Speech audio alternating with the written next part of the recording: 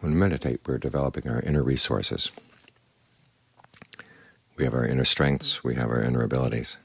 But a lot of cases, they're just in a potential form. We have to actualize them, we have to bring them out and develop them. That's what the word, word bhavana means. It's the Pali word for meditation. In other words, you're developing good qualities of the mind. You take what good qualities you have and you allow them to grow.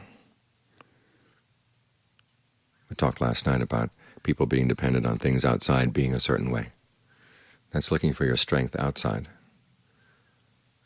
For the meditation, we're looking for strength inside, so that whatever the weaknesses of the body, whatever the weaknesses of our position in the world, we have strength inside that can compensate, more than compensate, so that we can live in the world even with a body that can grow old and can get sick and can eventually die.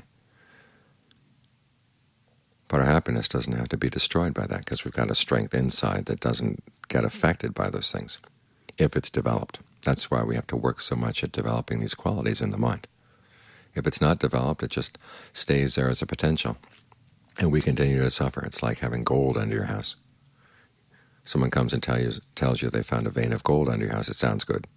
It's reassuring. But you're not going to get any use out of the gold until you actually dig down and find it.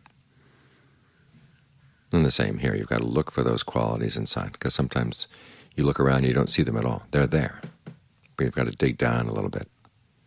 You have the strength to deal with the world. You have the strength to deal with the people around you. You have the strength to deal with your own defilements.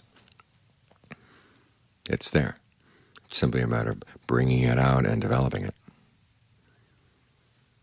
So each time you focus on the breath, each time you find yourself slipping away from the breath and bring yourself right back. That's strengthening the quality of alertness. That's strengthening the quality of mindfulness.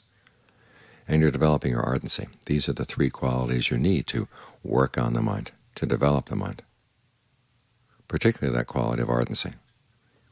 You can keep things in mind, you can be alert to them, but if you don't do anything about them, nothing really develops much. You see, there's a potential for something unskillful in the mind, you have to work to learn how to let it go. If there's a potential for something skillful, you want to bring it out and develop it. That's what the ardency does, because it realizes that if you don't do this, there's going to be a lot of suffering down the line, that even though you have the gold under the house, you can't pay your bills,